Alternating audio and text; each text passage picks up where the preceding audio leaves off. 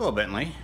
It's uh, Wednesday, and now, uh, as you can see behind me, what is what are we working on today? Well, we're working on uh, taping drywall because, as I said yesterday, the guy that I got who was going to be doing it, it was terrible and it was no good. So I'm doing it myself, so it actually gets done and done well. See, see it all behind me. Um, and in addition to that, uh, Vince is down the hall here Take it this way, down the hall. He is painting the little bathroom. Um, we've got all the tile laid out. It's all cut and ready to go. So when Vince finishes painting, we'll be uh, putting down the tile in there. And I'm going to be working very diligently on finishing all this drywall out here so that very shortly I can be putting down the floor in the kitchen and finally, at long last, get the kitchen going in.